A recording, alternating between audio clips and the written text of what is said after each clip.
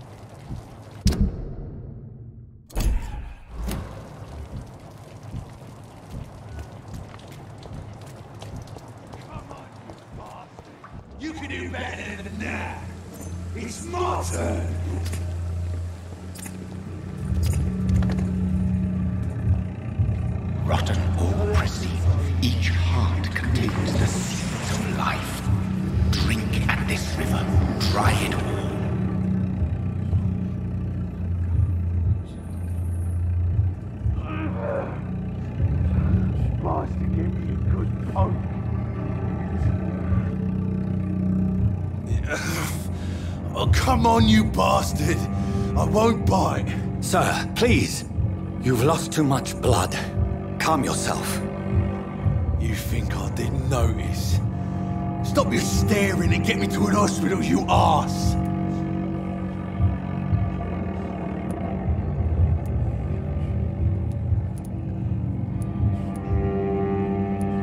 Insulting a good Samaritan. Not exactly the way to get rescued.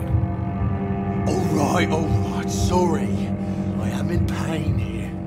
Me guts are spilling out onto the street and you're yabbering on. Yes. That's a very nasty wound you've got there. Take my word, I was... I am a doctor. Dr. Jonathan Reid. Name's Clay Cox. I'd appreciate you helping me to a better place, Doc. Follow me, Mr. Cox. Let me assist you to that better place.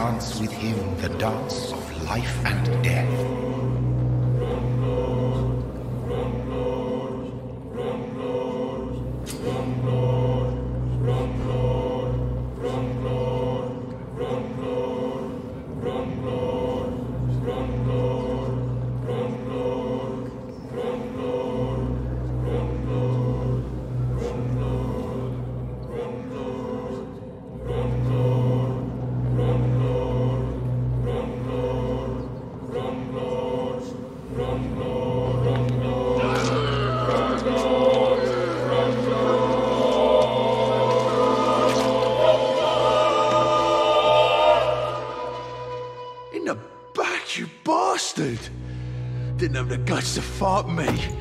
Fuck you.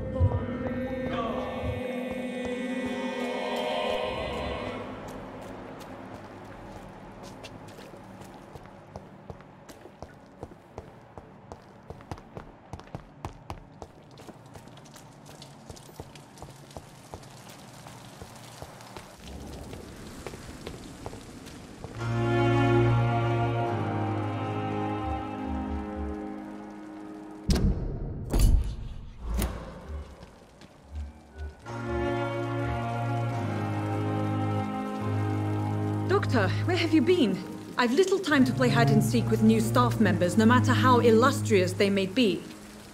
I apologize, nurse. I needed some time to myself. This has been the longest and strangest night of my life.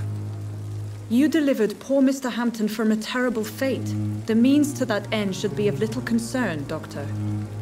Thank you, nurse. What can I do for you? Dr. Swansea insisted we provide you a quiet office.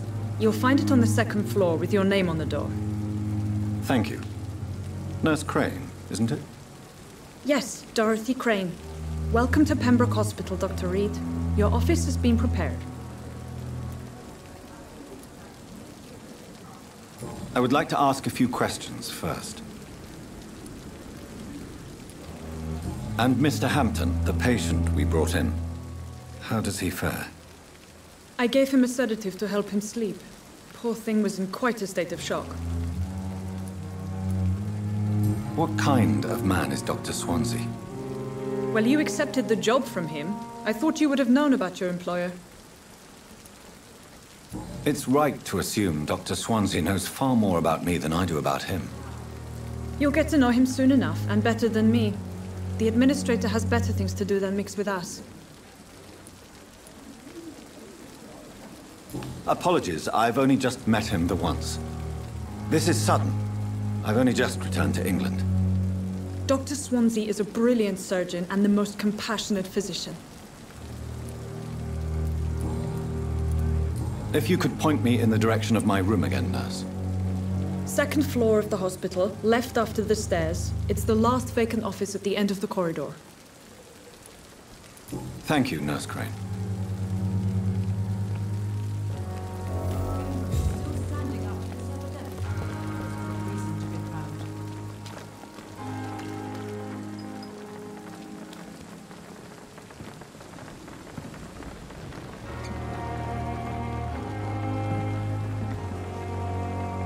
Good evening, nurse. I'm Dr. Jonathan Reid, the new surgeon here at the Pembroke. Dr. Swansea has already told us about you, sir. I'm Nurse Gwyneth Brannigan. Welcome to the Pembroke Hospital. Did he really? It's a good thing I wasn't hoping to keep a low profile. All members of staff have already read about your new blood transfusion technique. Dr. Swansea made sure of that. I see. Well, I'm a little surprised, but I suppose I'll just have to deal with this unexpected notoriety. You must know, blood transfusions are Dr. Swansea's primary subject of research. He is convinced it is the future.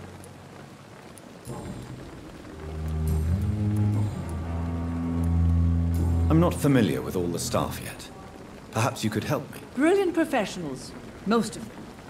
Dr. Swansea has a gift for recruiting talent. Most of them. Is there a problem I should know about, nurse? It would be inappropriate for me to speak ill of a colleague.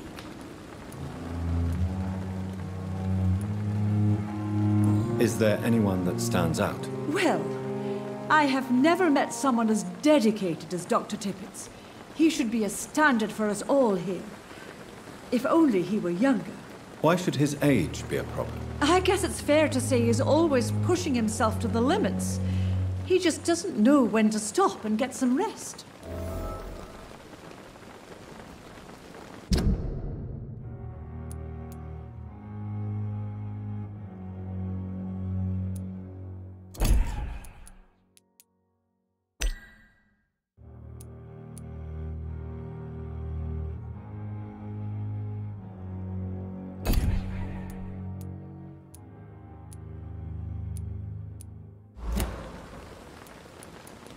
Nurse Brannigan, if you do know something, please tell me.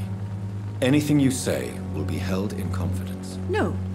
I may disagree with some conduct, but in the end, everybody is doing their best. How are things here? Not good, to say the least. We're struggling against an invisible enemy, more lethal than any bullet from a gun. It's hard, Doctor. An invisible enemy? Quite a poetic term for a disease, especially from a nurse. Sorry, Doctor. These last few weeks have been exhausting. We could all do with a good night's sleep. Do you think this hospital can survive the epidemic? We are all volunteers here, and we're trying to hold fast, but how do we beat an invisible killer? Some nurses have already resigned.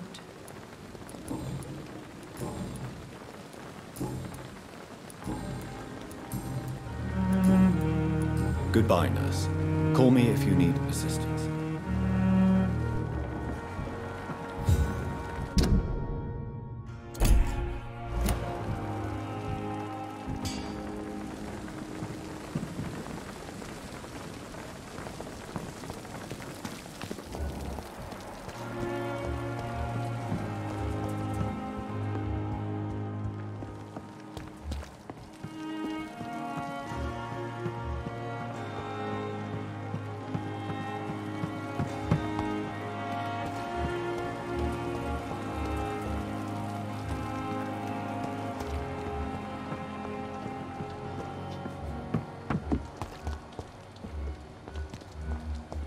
Dr. Swansea is right.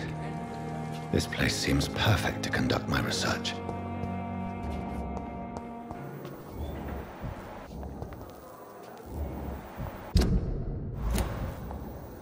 Good evening, miss.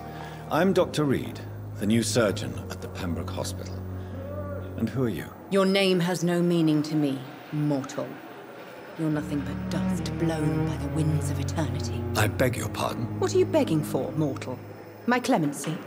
Well, tonight maybe I'm inclined to mercy. You'll never forget the night you met Thelma Howcroft. You keep calling me mortal. Why is that? And if I'm mortal, what are you? Well, Dr. Reid, if you must know, I'm a vampire.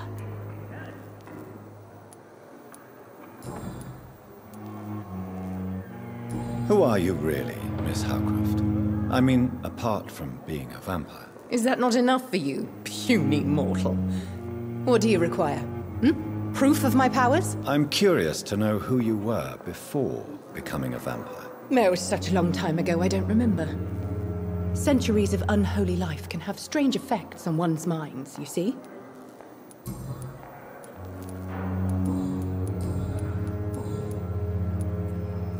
And why do you believe you're a vampire? I don't need to believe anything. It is what I am. It is what I feel within this hollow shell of flesh. Please, describe to me how you feel. What is it like to be a vampire? I can hear my body crumble from the inside as my flesh cracks and fades. I sense the last pulse of postulant blood within my drying veins. I need new blood. I see. Have you ever heard of Cotard syndrome, Miss Howcroft? Never. It's a mental illness discovered by a French neurologist named Jules Cotard. The affected patients are delusional. They believe that they are putrefying, that they are dead, a, a ghost or a ghoul, or in your case, a vampire. Delusional, you say? Oh, sad and petty mortal. You can't...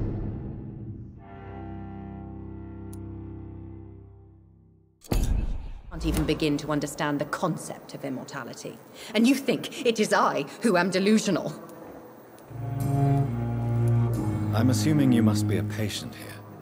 Am I right, Miss Howcroft? It's only a cover. To hide from my enemies. I can leave whenever I want. As a woman, a, a spirit, fog, or bat. Who are these enemies you mentioned? Can you describe them? I cannot say. But I sense their eyes on me from nearby. I, I, I feel them watching me every time I visit the garden near the morgue. The staff here are not your enemy. They're here to help you, to care for you. I'm not speaking of the doctors in white. I'm speaking of the men and women who hunt me. For I am a vampire. I see. Don't worry.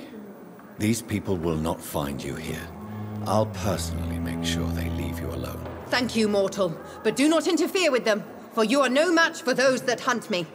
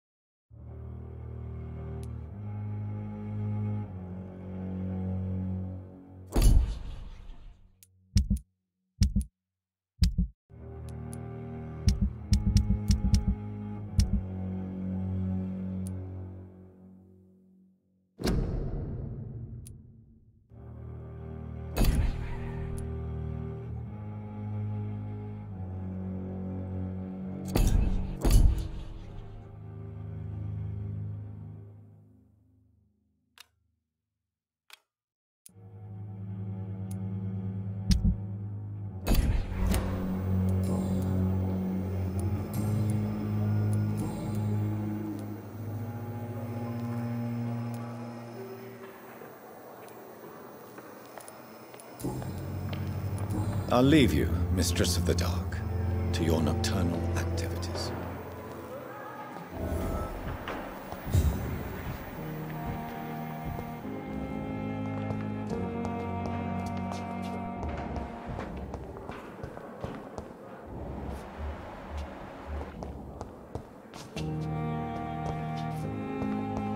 It's locked, all right. It's locked.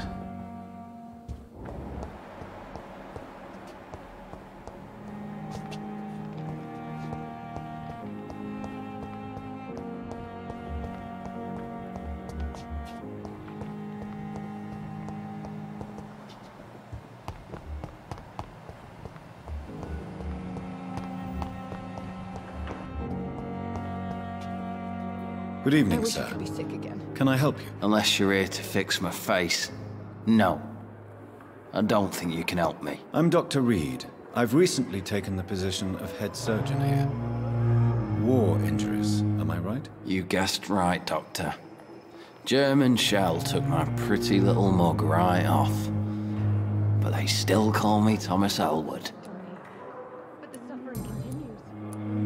How is your stay with us, Mr. Elwood? Oh, it's bliss. I just escaped death in the trenches to be surrounded again by the moans of the dying. Can I ask you precisely why you're a patient here? It's the pain, sir. The drugs don't work. It just hurts under the scars, if you get my drift. Can I do anything for your pain? Nurses gave me a bunch of pills. No effect. Told you. It's like the flames are under my skin, burning away. Who is treating you? Is someone in particular looking after your case? Nobody since the old and tired doctor spoke to me. Started to think I was forgotten about. Wouldn't blame you. You don't seem worried by that. My face hurts so much more when I smile or cry. I've learned it's easier not to speak. But be assured I'm smiling inside.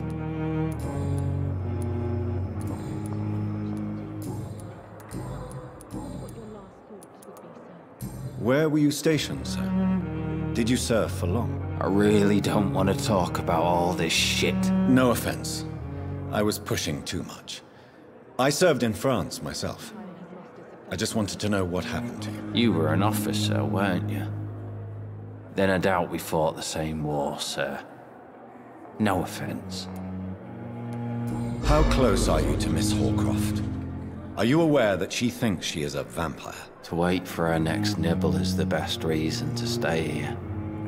Every time she approaches my bed, she treats me like something tasty. A normal person. Aren't you afraid? She may hurt you if the game goes too far. She's quite harmless, I can assure you. Her head's broken inside, is all. While I'm busted on the outside. But she's still beautiful. Living proof that there's hope for me.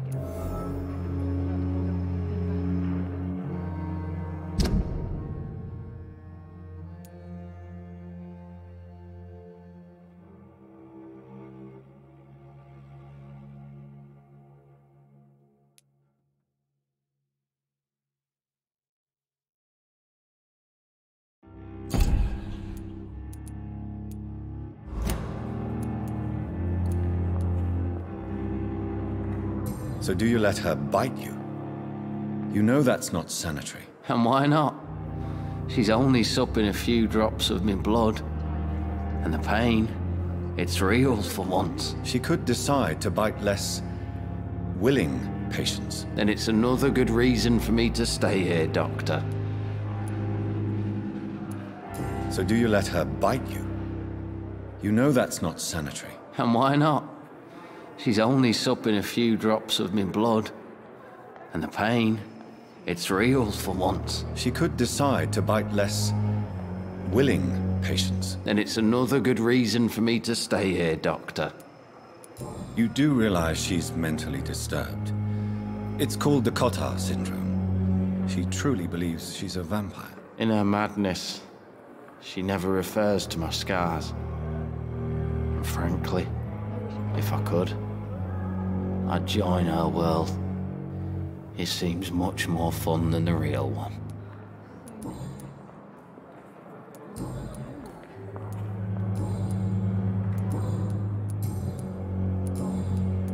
Goodbye for now, Mr. Elwood.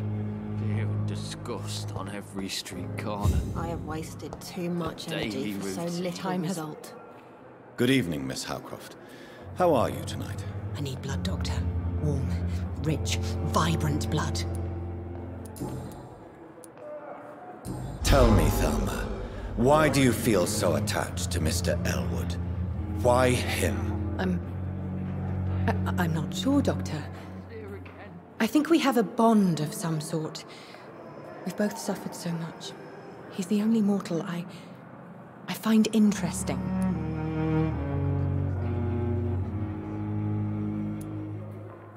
Do you plan to make him a vampire too? Of course not. How could I inflict my curse on anybody else? I'm not that cruel, Doctor. Would you say you and Mr. Elwood are romantically involved? No. No, Thomas is a delicate soul. Even though he disguises it. But I am not the woman he needs.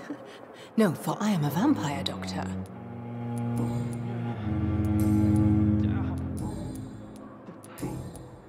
I'll leave you, Mistress of the Dark, to your nocturnal activities. Wasting too much energy for so little result. Good evening, nurse. Good evening, Doctor. I don't think we've been introduced yet. My name is Pippa Hawkins. And I'm Dr. Jonathan Reid. Dr. Swansea has recently offered me a position in this hospital. Well, it's a euphemism that your help will be appreciated, Doctor. How would you describe the situation at the Pembroke Hospital? It's serious. The flu is wreaking havoc amongst the staff and patients. We are running out of everything. You must get a hold of yourself, nurse. Sorry, I'm exhausted. No one has any idea when this epidemic will be over. Nurse Hawkins, the Spanish flu won't last forever. Even the Black Plague didn't kill everyone. I wish I could believe you. But what if this epidemic was worse? What if in the end, nobody was spared? How is the Pembroke staff coping with the epidemic? Well, not well. Milton, the ambulance driver, is even more grumpy than usual, especially concerning doctors. Why is Milton grumpy on a daily basis? Is it just an act? Milton's not the kind of man who's bothered about a bad reputation, whether he deserved it or not.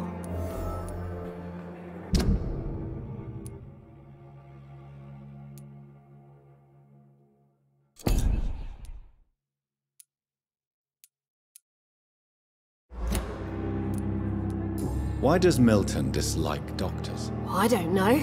Just ask him. But be warned, Milton is not the chatty type. How long have you been a nurse? Or long enough to see that the epidemic is winning. And no matter how qualified you are, don't tell me you'll change that. You'd be surprised what dedication can achieve, Nurse Hawkins. In medicine, sometimes we're just a test result away from a miracle. Sorry, Doctor. I don't want to sound bitter, but I'm just too tired to give a pep talk like Nurse Brannigan.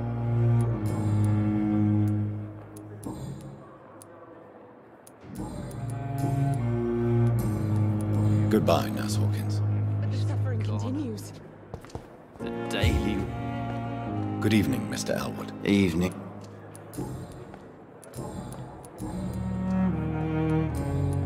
Goodbye for now, Mr. Damn. The pain. It's here again.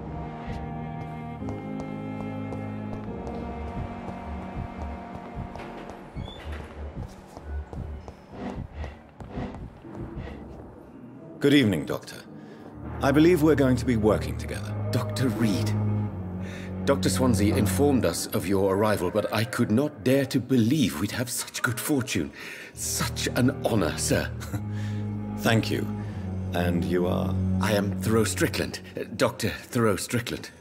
I'm a great admirer of your work, Dr. Reid. Please, could you tell me something about yourself? I'm a great admirer of your work concerning blood transfusion, Dr. Reid. I run my own experiments. I'm convinced it's the future. What made you choose to be a doctor? I'm not ashamed to admit you and your work have inspired me. I am honored to have the opportunity to work by your side.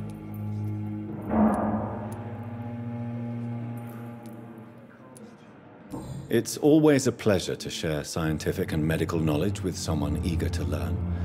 I'll be glad to help you if I can. This epidemic may be the century's most terrible disaster, but I'm convinced that we, as doctors, are the only ones able to defeat it.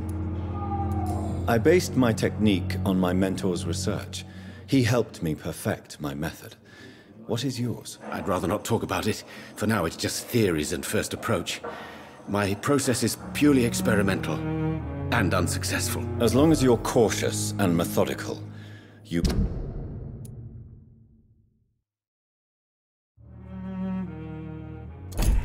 may remain empty-handed, but you won't fail. You're not the first one to warn me. But I am convinced knowledge is the main weapon against the ravages of this epidemic. What can you tell me about the Pembroke? Well, it has always been an honor to work with Dr. Swansea. But with your arrival, I can't think of a better opportunity to learn about blood transfusion.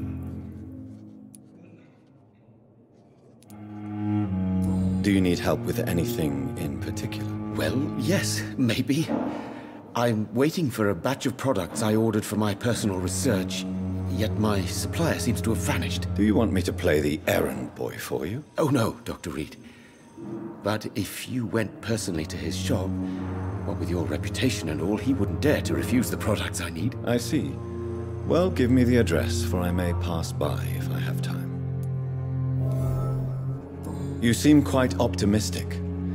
It's a rare and precious attitude in these difficult times. I'm convinced that this epidemic is a test. A test of endurance and dedication for us men of science. Questions remain about our capacity to resolve the situation. True, true. Last summer, during the first wave of the epidemic, I used to joke with Milton about the extra work. We're not smiling now.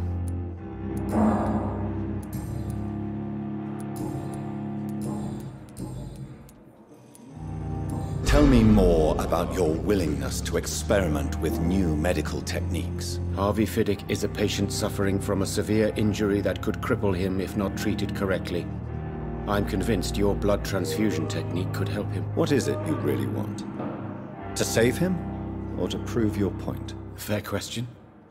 I want nothing but to save my patient, Dr. Reid. Especially since I know Mr. Fiddick's story. This personal involvement could also appear to be a lack of impartiality. You must know that a good surgeon must remain neutral. I agree. But that does not excuse Dr. Ackroyd's behavior. A man who did not even take time to converse with his patient. Do you think keeping his distance was a mistake? All I know is that I'm taking care of human beings with desires, hopes, and fears. Not some biological machine comprised of blood, bones, and flesh. Tell me Mr. Fiddick's story. Our first diagnosis was compromised because Mr. Fiddick lied to us about the real origin of his injury. He first claimed it was an accident. But why would he hide such crucial information from us? Because he is a proud father, ashamed of putting his children at risk because of his own negligence.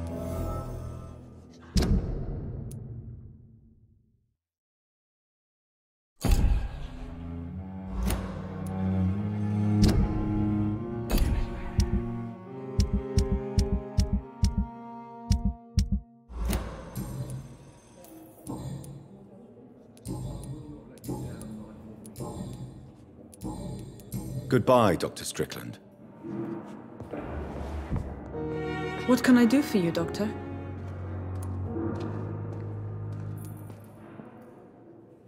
Thank you, Nurse Crane.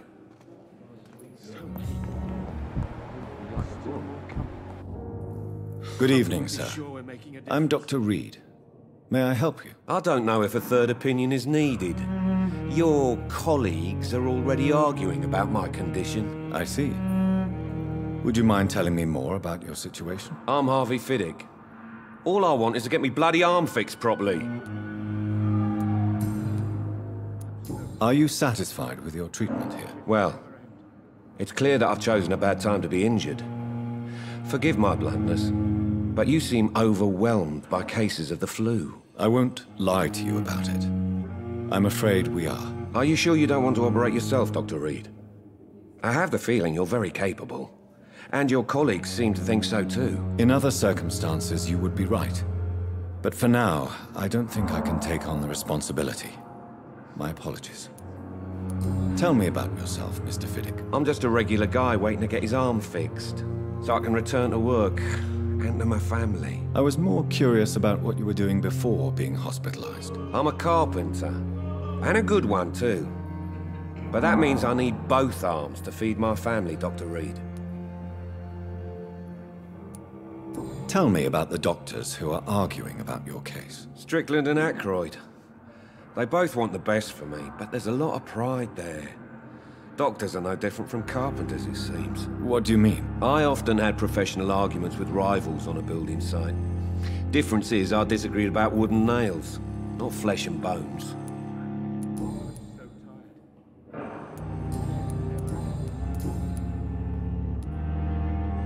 Tell me about your injury, Harvey. Why do you feel so guilty about it? My wife died because of me. And now I may lose everything because I've been careless enough to hurt myself. What an arsehole.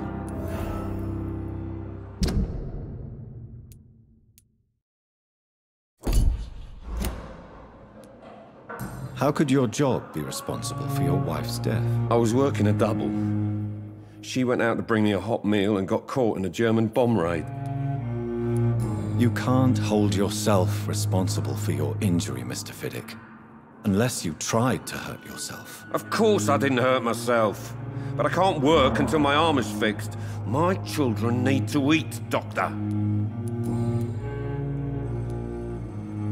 Tell me more about the death of your wife, Harvey. 1915. I was in the army. Building workshops for the Royal Flying Corps. Helen was happy I wasn't sent to the front. What happened? The Germans sent Zeppelins to bomb the construction site, but they missed their target. My wife was bringing my dinner when the bombs fell. How are your children after losing their mother? They were smaller then. The only good thing about this is my Helen didn't bring them with her that night. I'm sorry for your loss. So many died during the bombings. I served in France and witnessed the carnage there. I would like to say that she didn't suffer. Truth is, I have no idea. I just know that I'm all that me kids have. Poor little bleeders.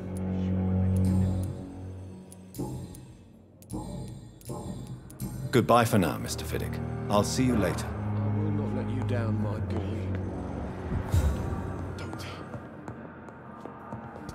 I'm so tired. Will this shift never end? Good evening, sir. I'm Dr. Reid. I believe we're going to be colleagues. Reid? Yes, I've been informed about your arrival. I'm Waverly Ackroyd.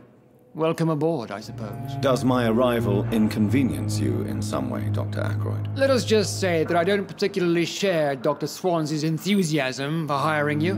What we need here are reliable professionals, not overrated dabblers. If you have a problem with me, Dr. Ackroyd, please feel free to tell me. Dr. Swansea has imposed your presence on this hospital without asking anyone's advice. The benefit of his position. But I don't agree with it. I know we've never met before, but I believe this hospital could use all the help it can get. You will agree with that, I'm sure. Oh, but I have heard about you, Dr. Reid. Of course, you can't say the same about me, since I have not wasted my time courting the press.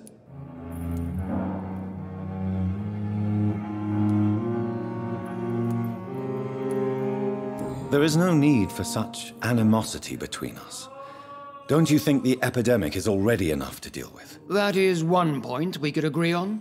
And that is precisely why I want to be sure that you will be of help to this hospital instead of a burden. Since your tenure in this hospital is longer than mine, perhaps you can tell me more about this place. Let's just say I'm tired of the carelessness around me. I have always respected the skills of Dr. Swansea, but over time his enthusiasm has become displaced. Carelessness? Exactly what are you talking about? We're here to save lives. The people who trust us are not volunteering for experimentation. They're here to be healed. I don't intend to run any radical experiments, Doctor. Even if I, as any good practitioner should, express an interest in pushing the boundaries of medical research. Modern medical methods were created through audacity and ego. But there are rules in our line of work, and they're here to protect our patients.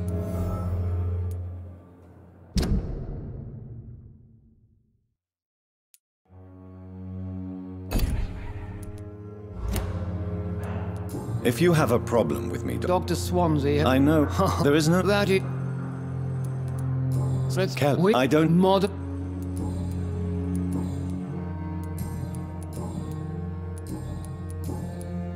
Tell me, Waverly, what do you think of Dr. Strickland's enthusiasm for his experimental research? Strickland is playing with his patients' lives for pride and glory. Now that, sir, is unethical. Are you thinking about something in particular? Harvey Fiddick needs delicate surgery. I believe we should stick to the usual procedure, but my young colleague obviously disagrees. And are you not afraid that your rivalry with Strickland may be blinding you? Rivalry? I guess you could call it that. But I will never be childish enough to let my personal feelings affect my judgment. Why do you wish to lead this surgery? I strongly believe that Mr. Fiddick should not be butchered to test an unproven procedure. I really hope you're right about this, Dr. Ackroyd. I'm trusting your judgment on this. I'm not the kind of man who runs away from his responsibilities, Dr. Reid. There is no need for you to be looking over my shoulder.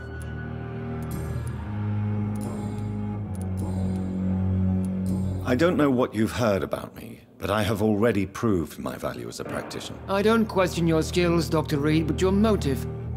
Is it money, fame, or are you truly dedicated? And what exactly is that supposed to mean? I served in the war just like you. But unlike you, I did not use the wounded to play the modern sorcerer. Be careful what you insinuate, Dr. Ackroyd. I only want you to admit you used those men to improve your theories.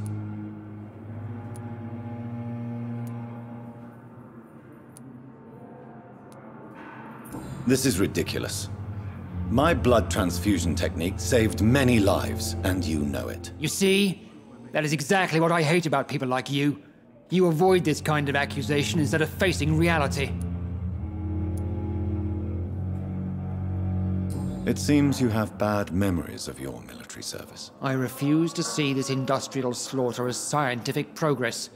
War only reveals the worst in men. We can at least agree on something, Dr. Ackroyd.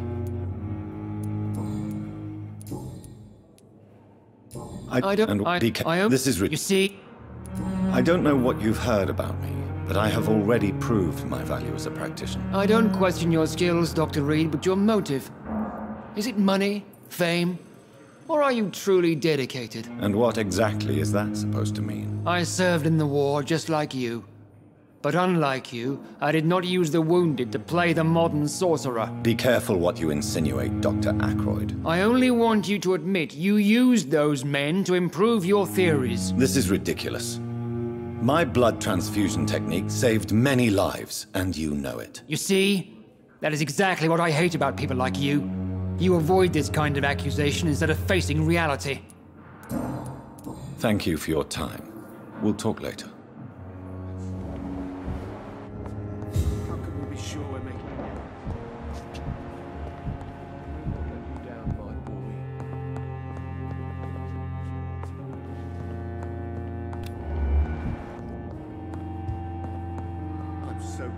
Good evening. I'm Dr. Reid. Can I help at all? No, Really? Why are you here then? I don't want to talk. My throat hurts too much. I suppose that this pain is the reason you're here. Is someone taking care of you? Yes. And no. Could you at least tell me your name, sir? Mortimer. Mortimer Goswick. How painful is your throat, Mr. Goswick? So painful I'd rather not talk at all, Doctor. I'm sure you realize a doctor and his patient have to communicate, sir. Would it help if I gave you some paper and a pen? Not really. I see. Then maybe it's not just your throat that hurts, Mr. Goswick. Perhaps your sore throat is just the consequence of something more hurtful. Yes, maybe. But I don't want to talk or even write about it now. How painful is your throat, Mr. Goswick? So... I'll let you get some rest, then. Good evening, sir. Good evening, Mr. Goswick.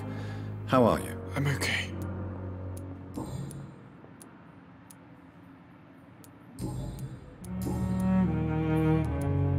Tell me about yourself, Mr. Goswick. I don't want to talk, Doctor.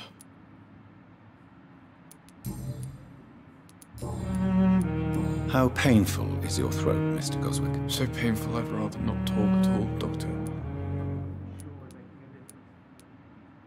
I'll let you get some rest, then. Good evening, sir. Doctor. Good evening, madam. Can I help you? It's my son who needs you, sir. I'm Dr. Jonathan Reid. How can I help your son? I'm Beatrice Goswick, mother of Mortimer Goswick. Could you check on him, please, Dr. Reid? I've heard much of your talents as a physician. What do you think of your reception here? Any complaints? I have had the uttermost reservations about this hospital since we arrived.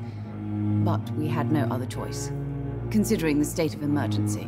Is there something in particular that...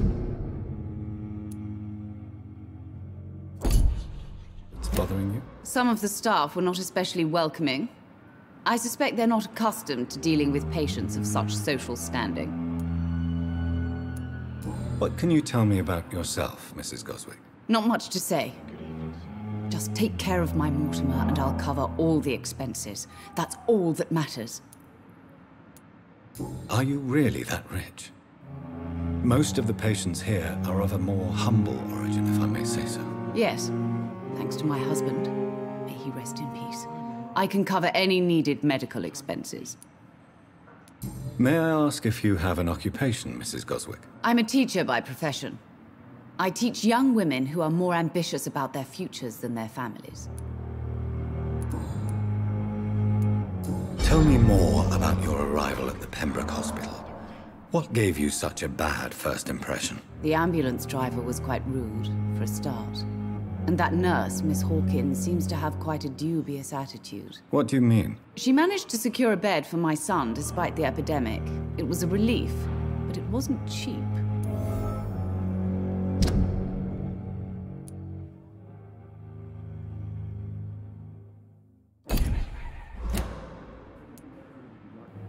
She charged you for a bed? Yes, and I paid without question, considering the urgency of the situation. I share your concern, Mrs. Goswick. Be sure that I'll talk to the people involved. I don't expect compensation, Dr. Reid. But I'm aware such behavior would not be tolerated in other hospitals.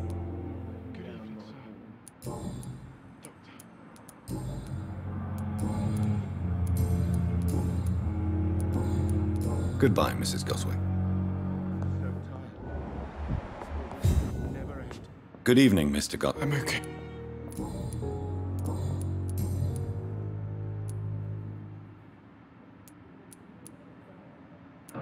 Why did your mother have you hospitalized here? She seems convinced this is a bad hospital. My mother just wants the best for me. She won't rest while I'm here. She'd go all the way to hell and back to help me. Pembroke Hospital may look unorthodox, but rest assured you're in good hands here. It's not me you have to convince, Dr. Reid. It's my mother. Is your mother bothering you? As your doctor, I can ask her to leave you alone if you would prefer. That's tempting, Doctor. But you have no idea what my mother is capable of. She would tie herself to my bed if you asked her to leave. How painful is your throat, Mr. Goswick? So painful I'd rather not talk at all, Doctor.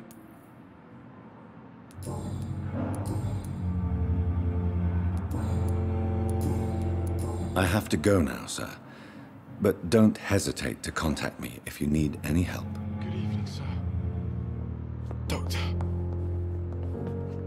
Good evening, Doctor. How is my son doing? Goodbye, Mrs. Goswick. How long must I wait, damn it? Not further your agenda, sir. How long's it going to take to fix me properly, Mum? A year? You have the right to disapprove of our methods, and you will kindly apologize when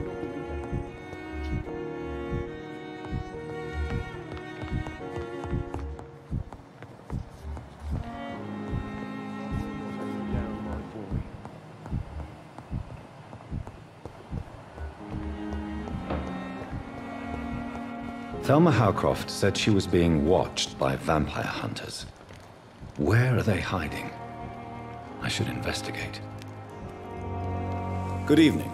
I'm Dr. Reid. Always a pleasure to meet a colleague, sir. Especially when he was supposedly dead. A colleague? Are you a doctor too? Not anymore, sir. I used to be Dr. Rakesh Chandra. Now, I'm just Mr. Chandra, pawnbroker and humble guardian of this morgue. What do you mean, you used to be a doctor? Was your license revoked? No, sir. It is just that I like to be precise. I run a little pawn shop while taking care of the dead. But I used to be a real doctor.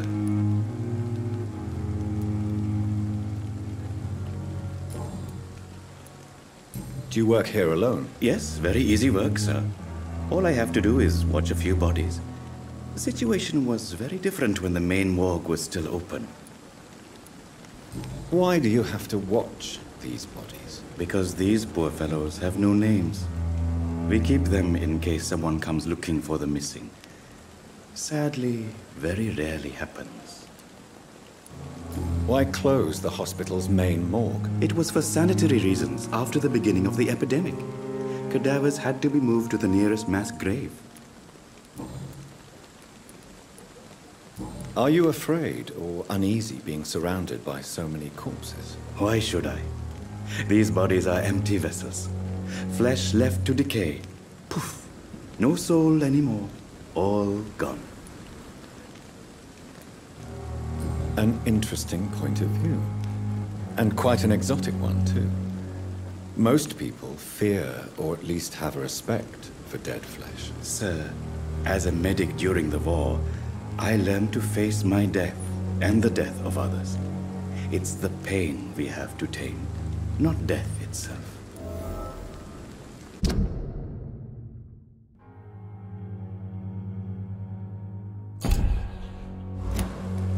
How did you get this job? After I left the army, I worked as an undertaker down by the docks. A dangerous place with many an unpleasant business there. Milton Hooks helped me get a job here. Have we met before? I don't think so, sir. Why? When we first talked, you said you were glad to meet me since I was reported dead. Funny story, sir. Your sister came here a few nights ago. You were missing, and she was looking for your body. She must be very relieved now.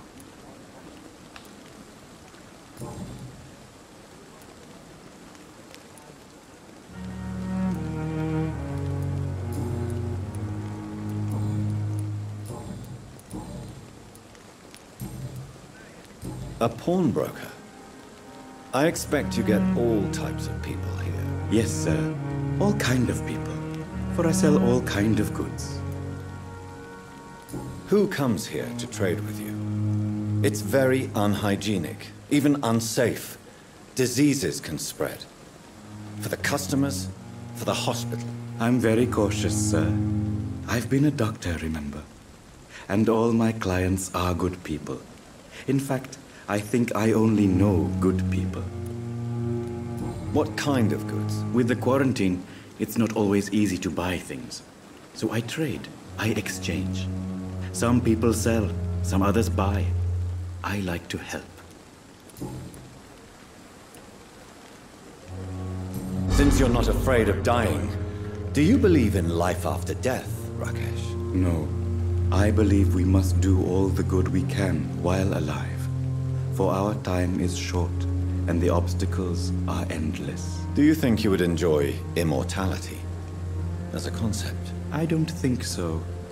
Don't mistake me. I love life, and I'd like to live a long life. But everything has to decay, sir. Even goodwill. Do you really believe goodwill cannot last? As I said, sir, everything decays. If I was to never die, goodness, I would be bored or worse. And I like to be helpful, sir. Quite depressing, wouldn't you say? Yes, but the good news is we'll all die before losing our humanity, sir. So you're ready to die? No, I am not. I don't fear death, for I won't see it. What troubles me is the pain my death will inflict to those I know. You're a wise man, Mr. Chandra. No, Dr. Reid. I am a foolish man. But I like to think otherwise.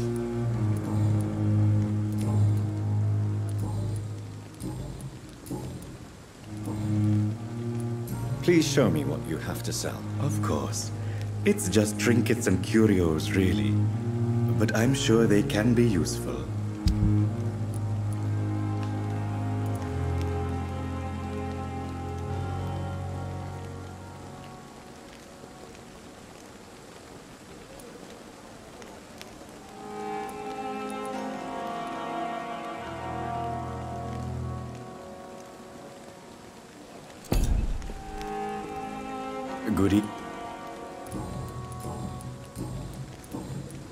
Goodbye, Mr. Chandra.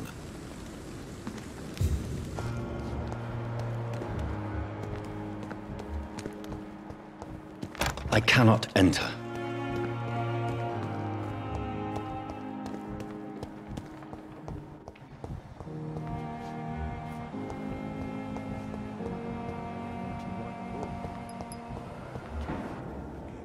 Good evening, Dr. Strickland. And good evening to you, Dr. Reid. Can I be of any help?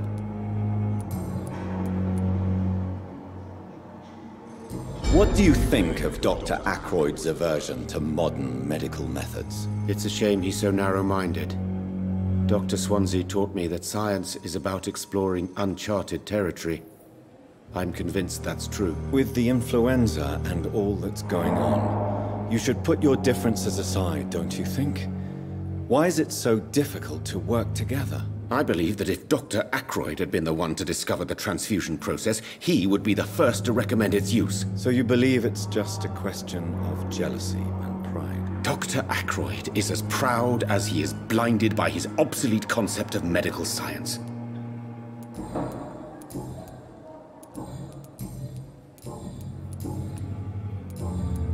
Goodbye, Dr. Strickland.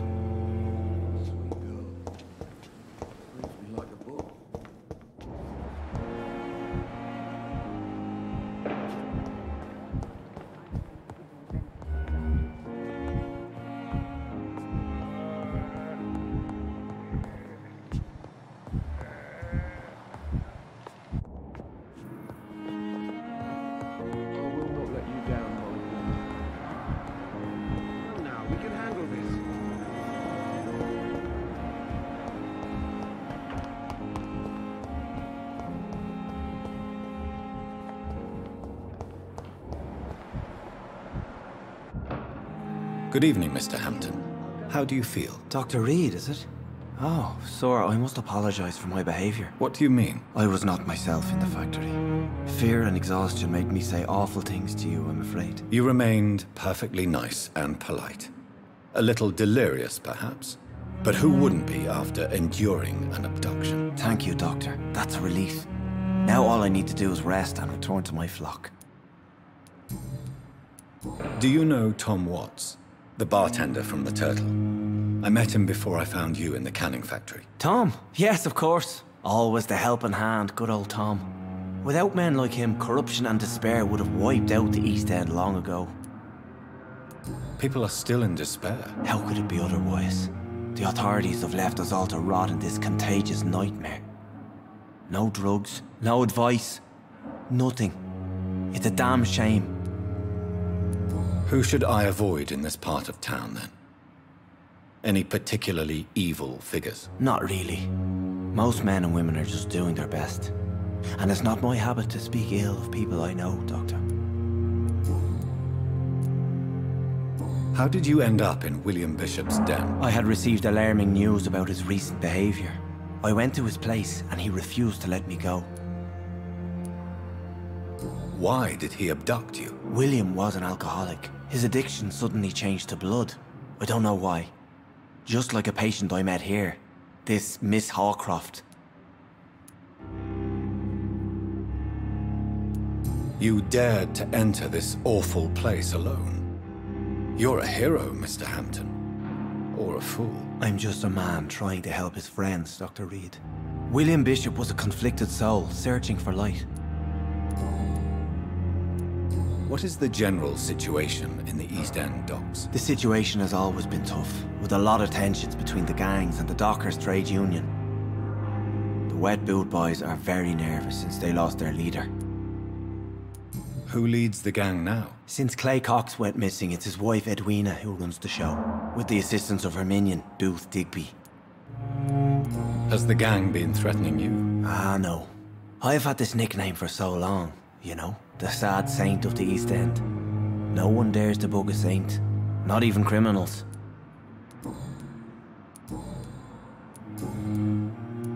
How do you feel, Mr. Hampton? Medically speaking, I mean. I feel exhausted. Beyond exhaustion, actually. William drank so much of my blood in his madness. I feel... empty. You're in good hands here. Dr. Swansea is well versed in blood transfusion, and I'm sure he'll take the best care of you. Thank you, sir. I believe all I need is rest. And then I can go back to the people who need me. What do you do for a living, Mr. Hampton? I can't help but notice the cross around your neck. I manage a night asylum for the poor and homeless of the docks. And I try to guide the lost and hesitant on the right path to our Lord. Are you a priest, Mr. Hampton? A deacon, maybe? Not at all, Doctor. I'm just a man of faith willing to preach the good word. Why didn't you use your cross against William Bishop? To repel him somehow? That's a very strange question, Doctor. A cross is no magical token, if that's what you were trying to say. Not mine, anyway.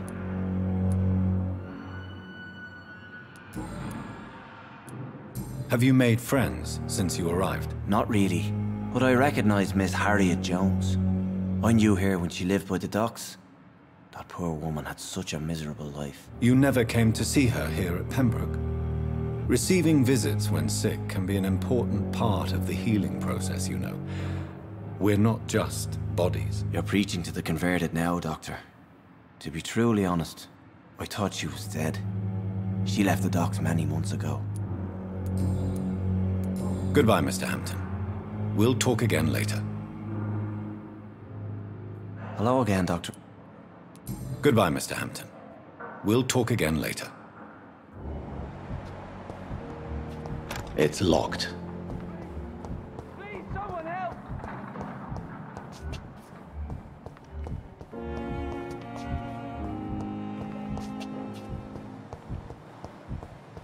It's locked, all right.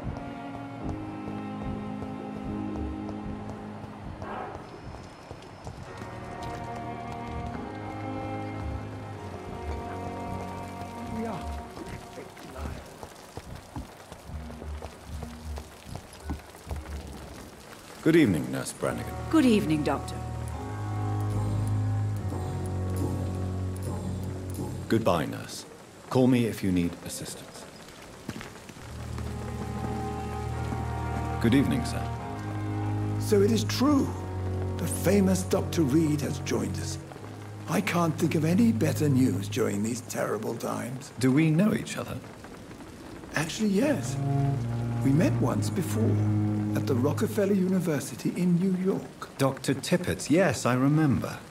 I was assisting Professor Carrel in his research about coronary bypasses. He had nothing but praise for you. He was also very confident about your future. And look at you now. Eminent surgeon and blood transfusion specialist. You're exhausting yourself, Corcoran. Maybe you should think about preserving your strength. No. We must keep on healing all those poor souls.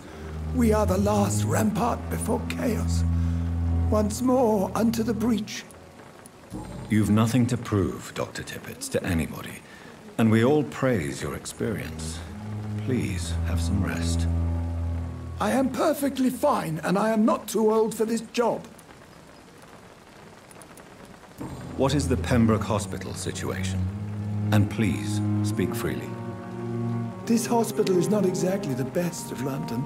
I'm sure you are used to working in a better environment. It's more than enough. In any case, the personnel of a hospital are much more important to me than the building.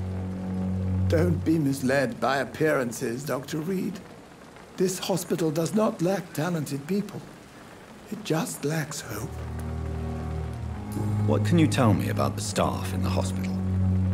Some are really good, and others are not so good. But during this troubled period, there is no time for slander. I prefer to focus on the positive character traits. Tell me more about cherished people, then. Nurse Brannigan is a pearl. She is the most helpful and dedicated nurse I've ever worked with. A clever and cheerful woman. You really seem to admire her skill.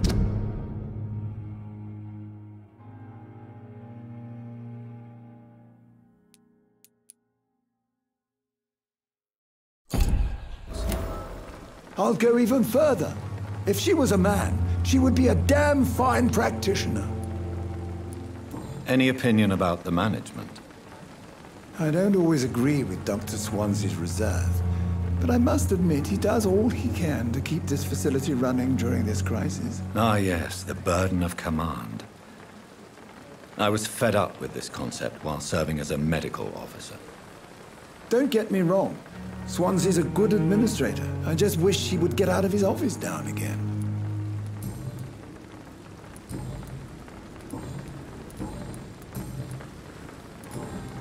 Goodbye, Dr. Tippett.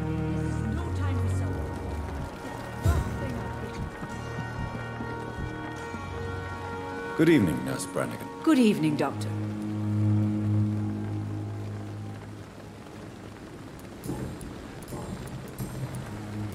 Why does Dr. Tippett claim you're the main reason he keeps working, despite his fatigue? If it wasn't for him, I probably would have left the Pembroke years ago. Dr. Tippett does not think of you as just a nurse anymore, does he? If you're suggesting he's not taking my gender into consideration when it comes to medical practice and knowledge, I really hope he doesn't.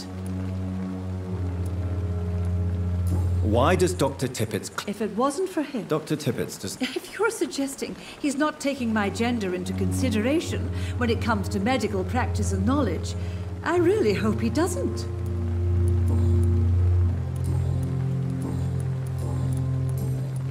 Goodbye, nurse. Call me if you need assistance.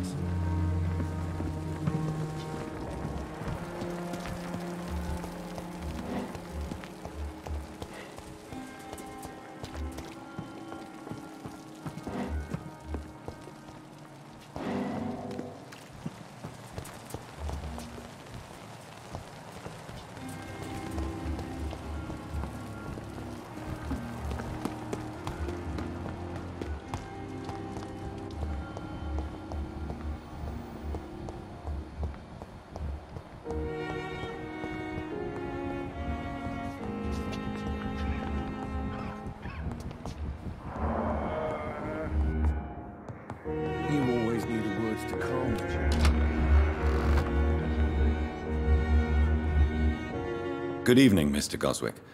How are you? I'm okay.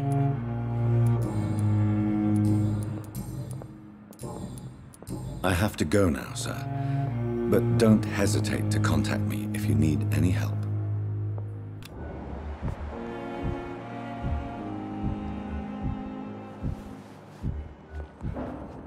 Good evening, Doctor. How is my son doing?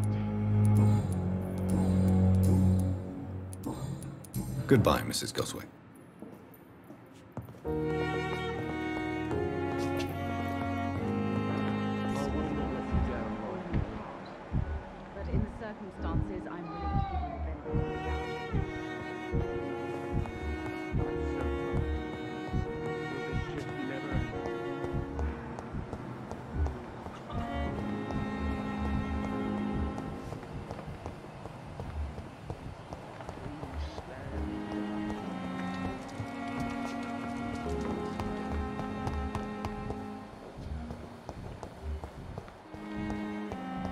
It's locked. Good evening, Miss Howcroft. How are you tonight? I need blood, Doctor. Warm, rich, vibrant blood. I'll leave you, Mistress of the Dark, to your nocturnal activities. Good evening, Mr. Elwood. Evening, Dr. Reid.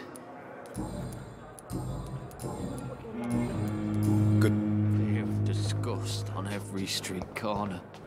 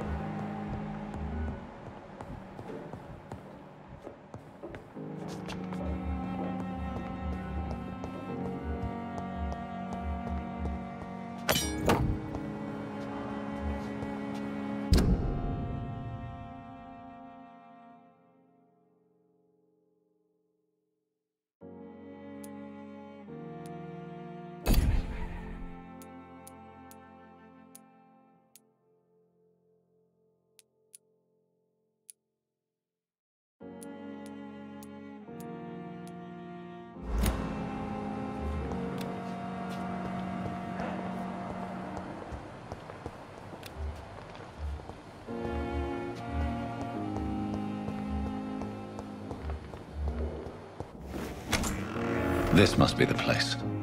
It's definitely away from prying eyes. Relegated to the shadows. A kingdom of my own. At least I won't be sleeping in a coffin.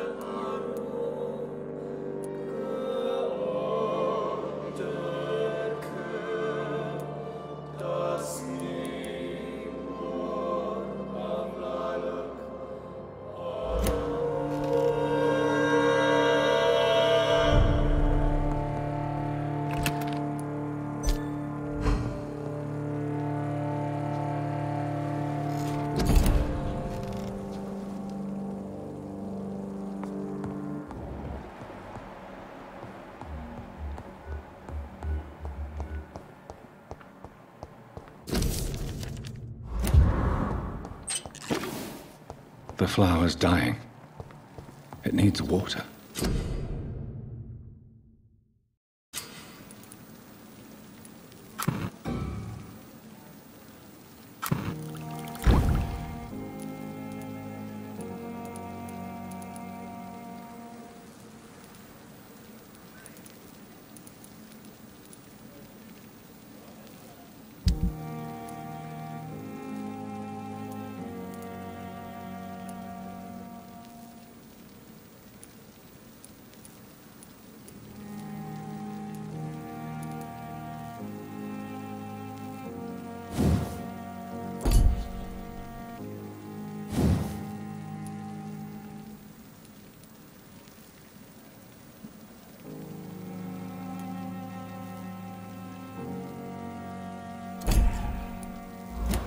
Bishop's blood is much more unstable than human blood and shows extensive mutation.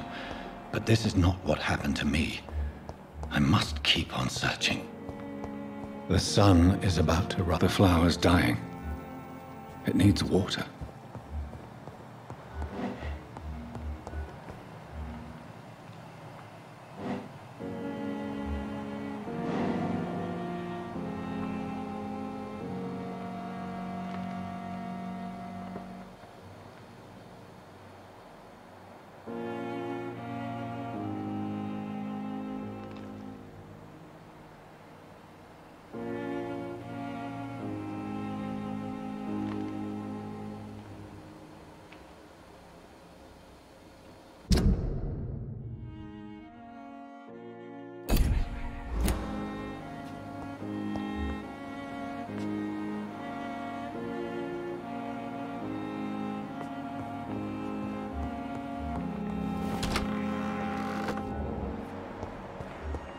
It's locked.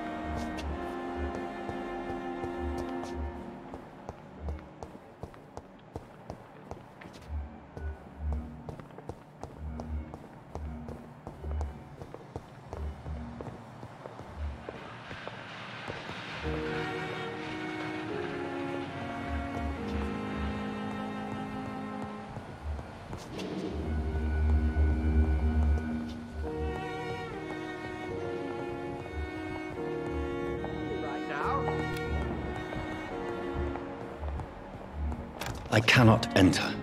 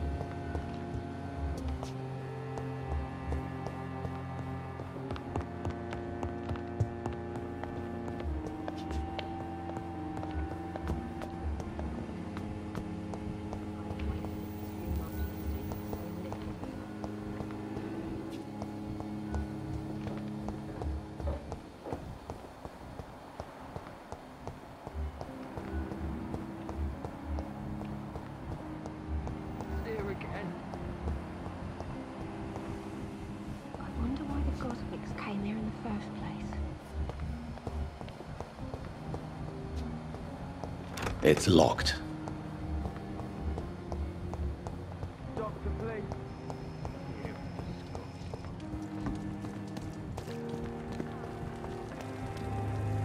Good evening, sir. I'm Dr. Jonathan Reid. I'm new here. I've already heard about you, Dr. Reid. I'm Milton Hooks, the ambulance driver for this shithole of a hospital. That's quite a blunt introduction, Mr. Hooks. You can call me Milton. I like to speak my mind, Dr. Reid. Perk of the job. Don't judge me, and I won't judge you. I'm not sure I understand what you're talking about. Well, I'm no doctor, but I'm pretty sure a gun can't be used as a surgical instrument. You have a keen eye. I learned to shoot during the war, and have carried one ever since. Old habits die hard. No need to explain, Dr. Reid. And if you ever need a better gun, remember, I may have something for you. Are you really smuggling weapons through the hospital? And why not? I've already been attacked by patients, you know. And by gang members willing to steal my money. But you're not defending yourself.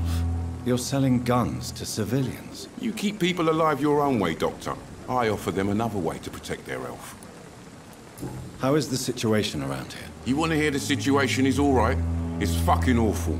We lack everything, and it's getting worse every day. So what do you do exactly in this hospital? Apart from smuggling guns, I mean. I've been an ambulance driver since... too long, I guess. I bring sick people here night and day. It's a dirty job, but I get it done. Most of the time. Since you're on the front line, how is the sanitary situation in this vicinity? It's a complete disaster. It's even getting dangerous to enter some streets or buildings. Even the locals attack you. It sounds like things have been a bit rough recently. What's happened? Yesterday I got attacked by the patient I was bringing here. I escaped through the hospital's garden, but I lost my wallet when I was running. You left an infected patient outside the hospital? That's incredibly dangerous. Go there yourself if you want, but be careful, Doctor. I'd rather not bring your dead body back.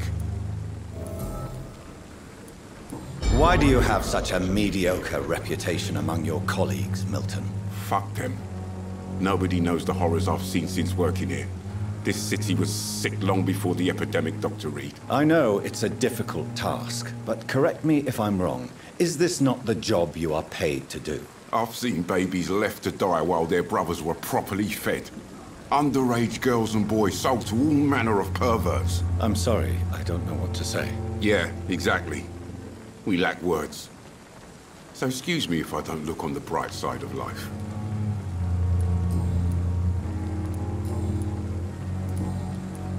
I'd like to see your goods. Wise choice, Dr. Reid. A reliable gun is what everybody needs these days.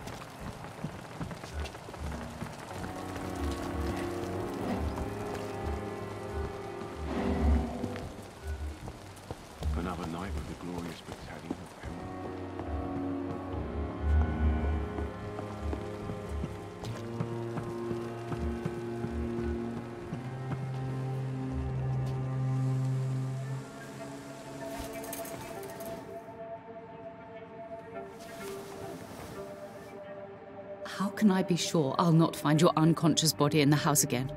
I promise you, you'll not find my unconscious body. For God's sake, how can you say such a thing? How can you refuse to listen? I tried to warn you for so long. No, I won't let my only son die. You promised me you'll stay alive. Your son lied to you, like the whole world lies to us.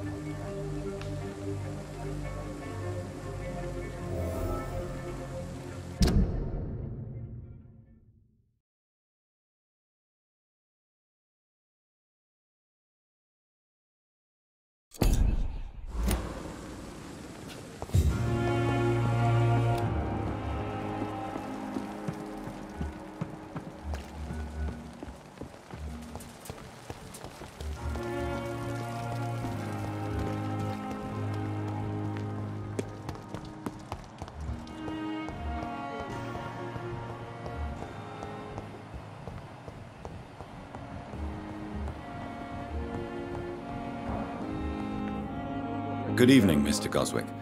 How are you? I'm okay.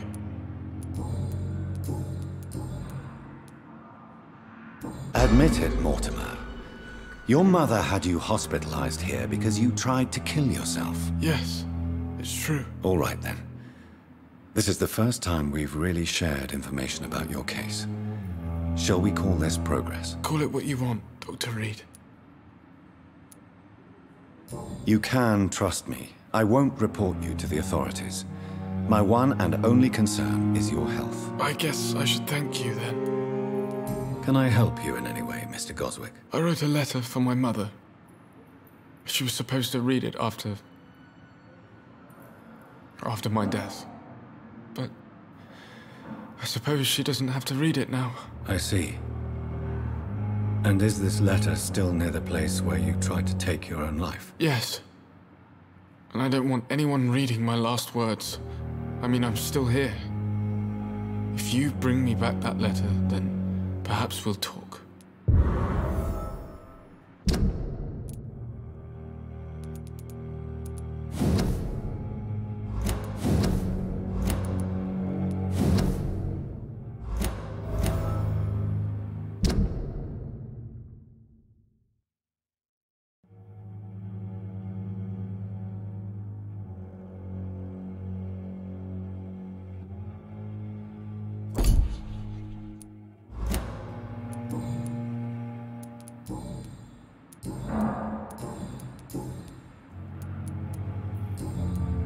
I have to go now, sir. But don't hesitate to contact me if you need any help. I'm all right. Don't waste your time with me. Good evening, Doctor. How is my son doing?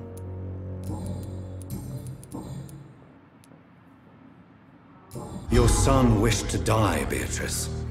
Why did you hide such crucial information? Are you not aware suicide is a crime? Mortimer could be thrown in jail. I can't let that happen.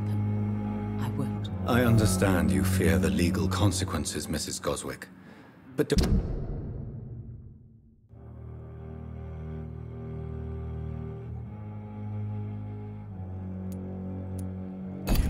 you realize your silence significantly affects your son's case? All my son needs is help and comprehension. Not judgment and punishment for what he may or may not have done.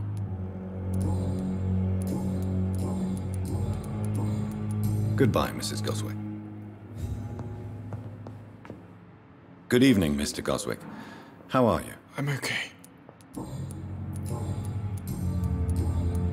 I have to go now, sir. But don't hesitate to contact me if you need any help.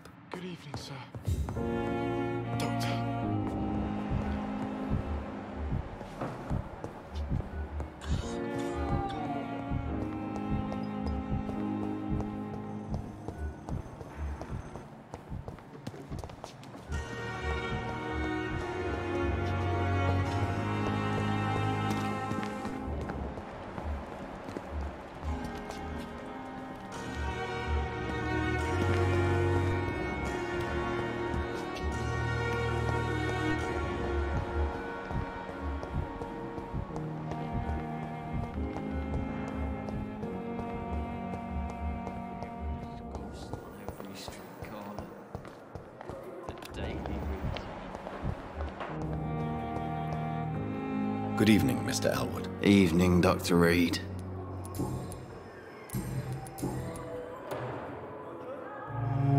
Why do you feel responsible for the injury, Thomas? What really happened? I wasn't disfigured by any German shells.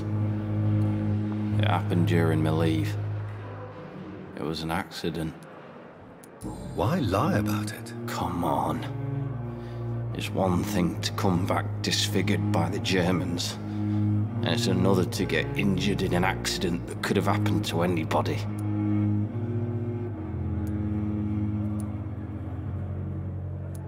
You know you can't hide forever. One day you'll have to face your loved ones. Until that day, you have no chance of real recovery. My friends all died in the trenches. It's shameful enough to be alive for these stupid scars. I don't want my children to see me like this.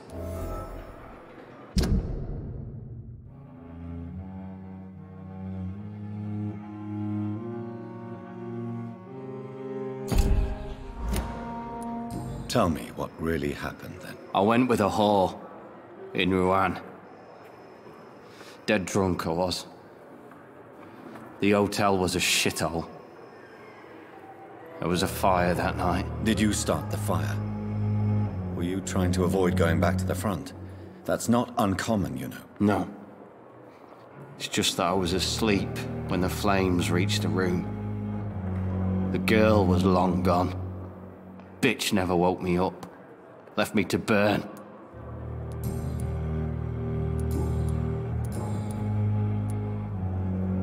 You told me before you don't want your children to see you like this. Do you have any other family? My sister Agatha has raised me nippers since their mother died. Don't want them to look at me like this. How could children despise their father injured in the war? What do you think? They saw me. Once. Poor angels left the room crying. They keep on having nightmares every week, my sister told me. Your sister's not a child. I'm sure she has nothing but respect for a wounded soldier, and you are her brother. You don't know my sister Agatha. She may be young, but she's all discipline and morality. If she ever found out what really happened... She doesn't have to know. She's a sly one, my sister. One day she'll find out the truth and knock seven bells out of me. Nah. I'm better off here. Goodbye for now, Mr. Elwood. Damn. The pain.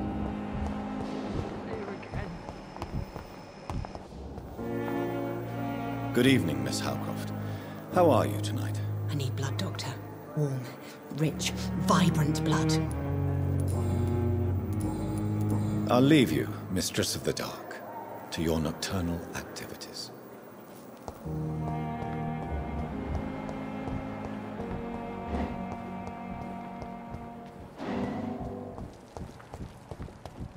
I'm sorry you ended up on my plain and cold medical bench, sir.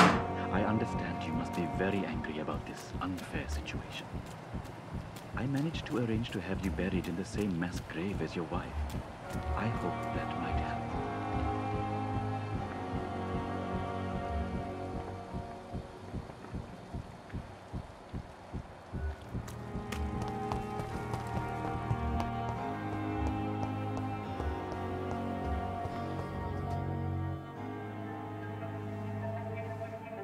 You don't mind if I search your pockets, do you, sir?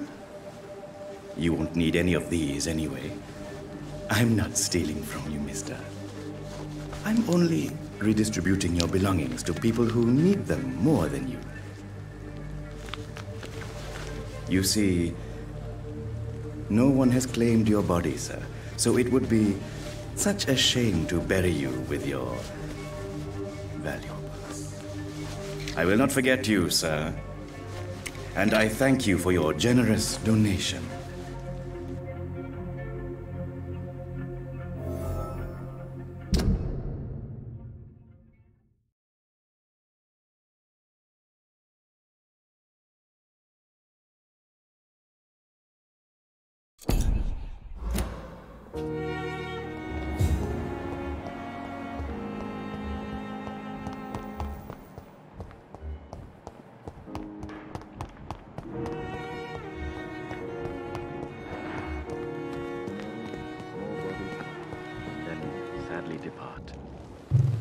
Locked, all right. Good evening, Dr. Reid. Such a pleasure to see you again.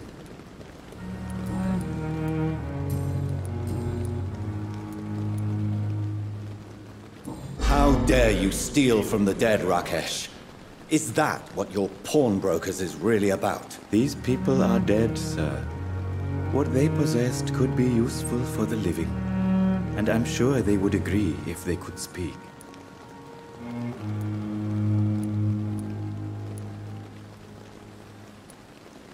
You should show respect for the dead. What about their loved ones who may treasure these items you sell? The bodies I watch over are the unwanted and undesired, sir. I would never deprive anyone of their family artifacts.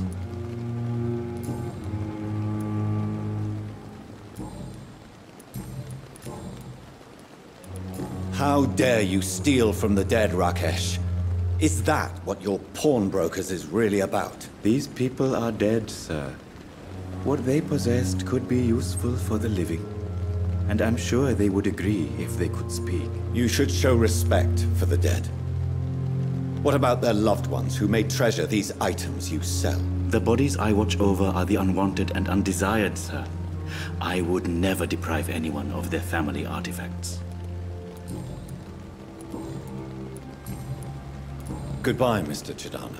Never ceases to amaze me how you, the dead, seem peaceful and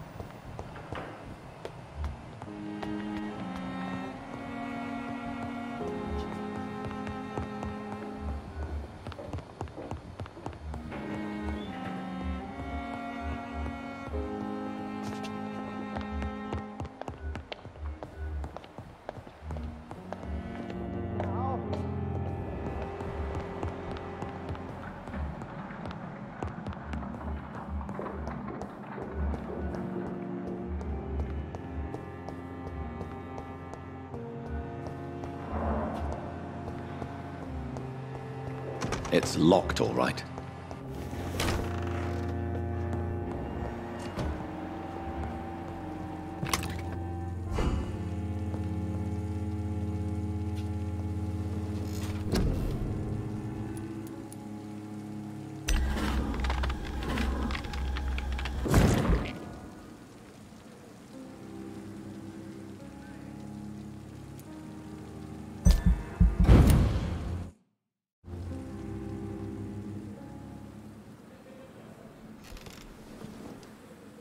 I'm to stay here until my research is complete, I'd better learn to hide my true nature from the mortals.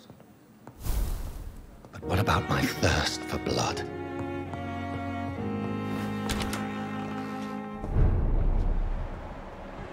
Dr. Swansea asked me to collect you, Dr. Reid. Hurry. Yes, Nurse Crane? How can I help you? I'm so sorry. I know Dr. Swansea wanted you to rest, but we have somewhat of a crisis.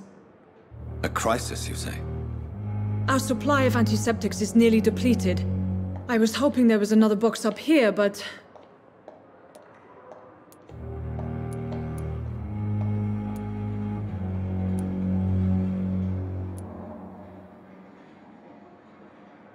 Sorry. There's nothing here. Some of the patients won't last the night without them. Honestly, sir, I'm beside myself. I may have a solution. In France, during the war, drugs shortage was a daily problem, and we had to use our wits to overcome the shortages. However do you mean? If combined correctly, certain household chemical products can be used in a pinch instead. Now, where's the hospital storeroom? The storeroom? Fat chance. This is the Pembroke, and space is luxury we don't have. Everything used to be stored in the old morgue. Perhaps I should look there first. Where is this morgue? It's the large building behind the hospital. You'll need to go in the back door because it's been sealed off for sanitary reasons. Take this key. It opens a small back entrance at the end of a narrow street. The abandoned morgue behind the hospital. A small door. At the end of a narrow street. On my way then. Thank you, nurse. Yes, Doctor? Exactly how bad is the supply situation here at Pembroke? It really depends. Dr. Swansea deftly works his society contacts for monies, but with the quarantine, Well, we're in God's hands. Please, could you point me in the direction of the morgue again? It's the large boarded up building behind the hospital. You can't miss it. The key I gave you will open the small back door to it. Why then do you always work the nights? Don't you ever sleep? At the Pembroke, we're always hands on deck. Your dedication to the Pembroke does you credit, Nurse Crane, but when do you sleep? We staff get our sleep when we can, Doctor. Nursing is a vocation, not the labor of a journeyman. Lack of sleep and the medical profession always ends in disaster. I've witnessed many a colleague succumb to stimulants to fight exhaustion. Drugs were as deadly as bullets in the trenches. London's trenches start here at Pembroke Hospital. We are on the front line, make no mistake. That's all for now, Nurse Crane, thank you.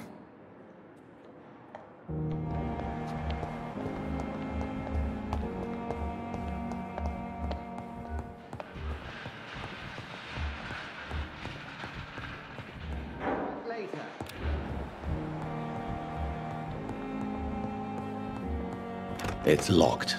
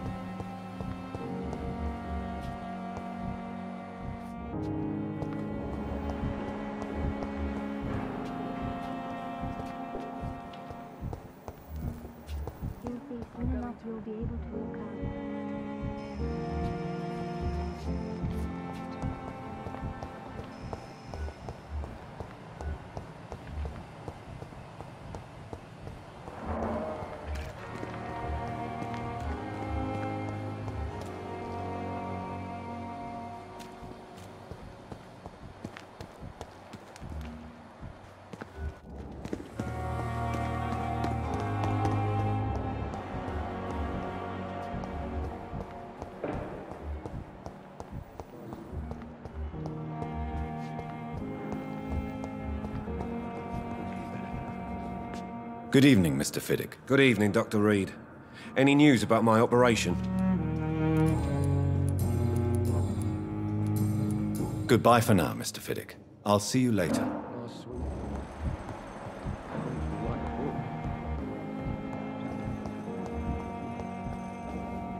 Good evening, Dr. Strickland. And good evening to you, Dr. Reid. Can I be of any help? Goodbye, Dr. Strickland.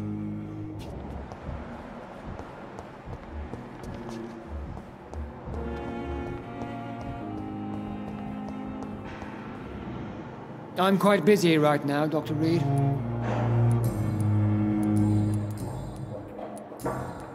Thank you for your time. We'll talk later.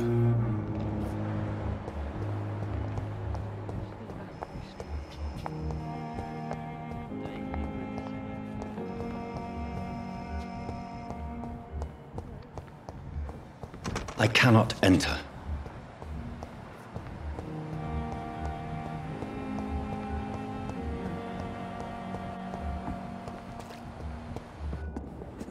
Good evening, Milton. Good evening, Doctor. Still trying to save lives?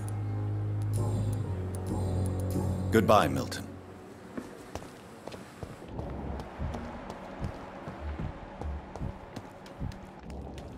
Good evening, Nurse Brannigan. Good evening, Doctor. Goodbye, Nurse. Call me if you need assistance.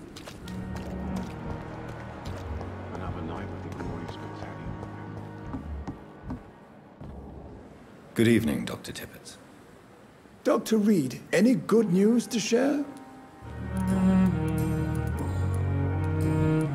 Goodbye, Dr. Tippett.